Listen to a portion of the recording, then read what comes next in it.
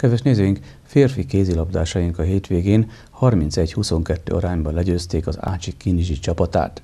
A következőkben erről számolom be önöknek.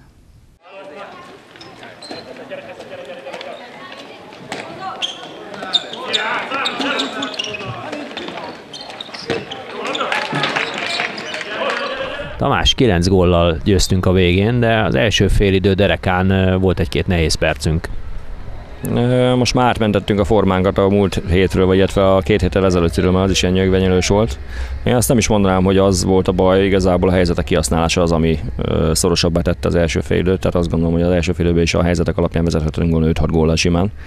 Hát nem koncentráltunk már eléggé, hogy az látszott, meg hát egy-két apróbb sérülés is közbe játszott, mondjuk mit tudom én, az irányító tenyerén mondjuk nincsen bőr, akkor azért elég nehéz úgy fogni a labdát, hogy azt tényleg úgy oda lehessen koncentrálni 100%-ban, de tehát azért mondom, hogy Bajnoci Máté is hagyott ki zicsereket, amihez ugye nem vagyunk hozzászokva, de hát esetleg most egy ilyen nap volt.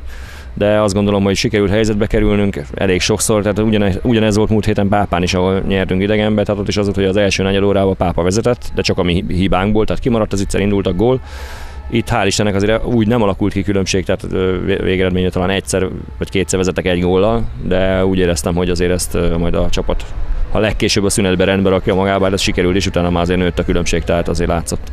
Második fél már talán inkább örömjáték volt próbáltunk, de azért tehát az, az igazi tűz meg hév az hiányzott ebből az örömjátékból, tehát azt gondolom, hogy örömjátékból róla akkor lehetne beszélni, hogyha mindenki ugyanazzal a sebességgel kézlabdázik, tehát azzal nem voltam megelégedve. Tehát a játéknak a sebessége az, az jóval lassabb volt, mint amit szeretnénk igazából játszani.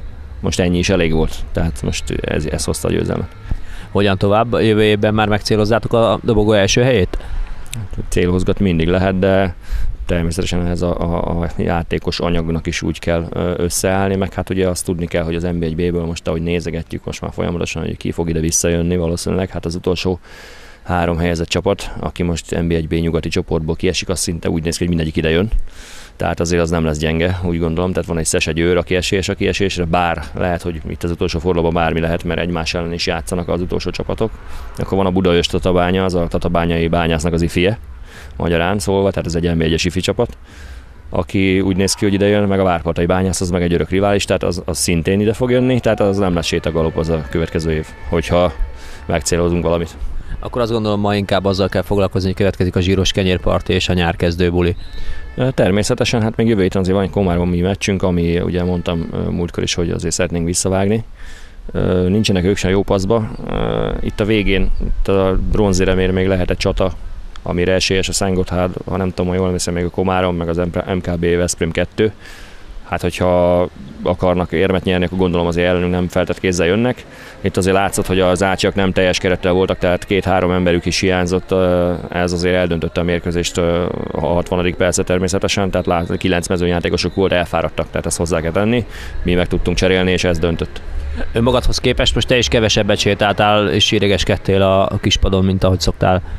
Hát úgy érzem, hogy volt néhány olyan mérkőzés, ahol nem mi pörgettük fel saját magunkat, hanem néha egy-egy játékvezető ítélet kellett hozzá. Például most az első fél időben, tizedik perc környékén volt két meg nem adott akár kiállítás, akár hetes, és akkor kicsit ott bepöccentünk, és akkor elkezdtünk keményebben védekezni, tehát ez, ez úgy benne van a meccsekben most már így a végén, tehát nem, nem önmagunktól pörgünk, hanem a külső körülmények készítetnek minket arra, hogy kicsit felszívjuk magunkat, meg hát mondom szünetben mindig azért próbálunk rendet rakni a fejekbe, hogy mi hiányzik a játékból. Azt mondom, hogy most is egy picit sikerült, bár múlt héten Pápán jobban sikerült, tehát ott, ott a második fél az jobban sikerült, mindig az itteni, de, de mindenképpen az idényen elégedettek lehetünk, azt gondolom.